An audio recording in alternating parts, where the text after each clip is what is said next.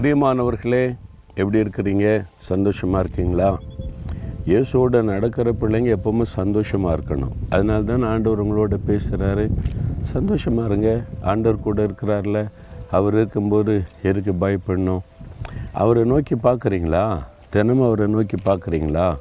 காலையில் எழும்பின உடனே வேத வாசித்து ஜெபம் பண்ணி என் தகப்பனே எனக்கு தாயின் தகப்பனுமா இருக்கிறவரே நீ துதித்து ஜெபிக்கிறீங்களா?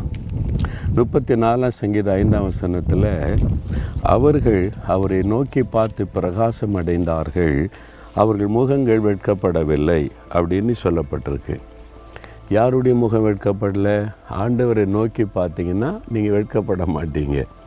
ஐயோ எங்கள் வீட்டில் என்ன வெட்கப்படுத்துகிறாங்க வேலை செய்கிற இடத்துல அற்பமாக பேசுகிறாங்க வெட்கப்பட்டு போயிடுவனோன்னு பயமாக இருக்குன்னு நினைக்கிறீங்களா? நீங்கள் வெட்கப்பட்டு போக மாட்டீங்க.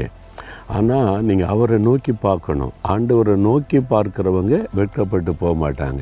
வெட்கப்பட விட மாட்டார். என் ஊழியத்தில் ஊழிய பாதையில் எத்தனையோ நெருக்க வந்ததுங்க. அவமானம் வந்தது. அவ்வளோதான் இனிமே முடிந்தது. மோகன்லாசஸ் அவ்வளோதான் முடிந்தது. அப்படிலாம் பேசுனாங்க. சொன்னாங்க. பல காரியம் வந்தது. ஆனால் ஒரு இடத்துல என்னை வெட்கப்பட்டு போக கத்தர் விடவில்லை. என்னை வெட்கப்படுத்தணும்னு பலர் முயற்சி பண்ணினாங்க. விடவில்லை. ஏன்னா நான் அவரையே நோக்கி பார்த்து கொண்டிருந்தேன். நீங்கள் அவரை நோக்கி பாருங்கள் உங்களை வெட்கப்பட விட மாட்டார் உங்கள் முகம் வெட்கப்பட்டு போவதில்லை. எதுக்கு பயப்படுறீங்க? ஐயோ இப்படி ஆயிருமோ? அப்படி ஆயிருமோ? அவமானப்பட்டு போயிடுவோம் ஆண்டவர் அற்புதம் செய்வார். வெட்கப்பட்டு போகாமல் இருக்க அவர் அற்புதம் செய்வார். வெட்கத்திற்கு பதிலாக ரெண்டு தனியான பலன் வரும்னு கூட வாக்கு கொடுத்துருக்கிறார்ல. அதனால் நீங்கள் சொல்லுங்கள் நான் வெட்கப்பட்டு போக மாட்டேன்.